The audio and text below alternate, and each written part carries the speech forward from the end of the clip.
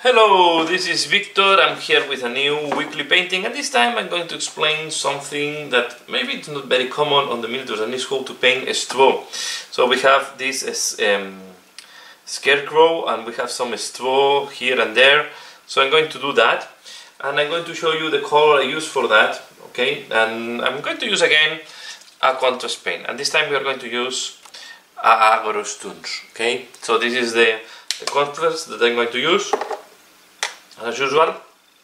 So what we do we are going to apply it over um, this one yeah, here we have it's um, Wraithbone uh, prime okay?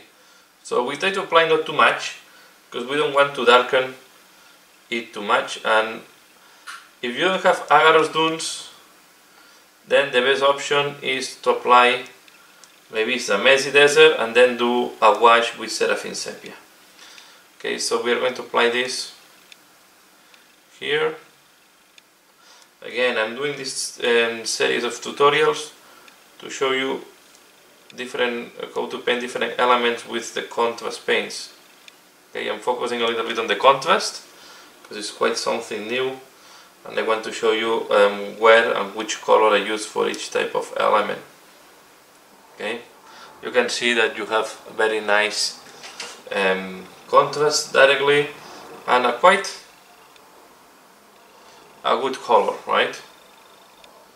So I think it's quite quite realistic. I'm going to do the uh, I'm, to be fair I do the ropes in the same technique. Okay so here you have for free. Okay in the same video we also do the ropes so not too much mystery. So now I will wait at this device and then I will be back but you can see it's quite straightforward just uh, now a layer of um, Aggaros dunes.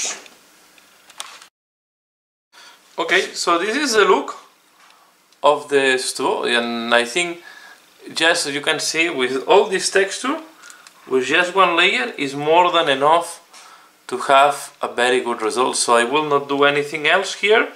And now we're going to paint the rest of the parts, okay? We're going to do highlights on the t-shirt and so on.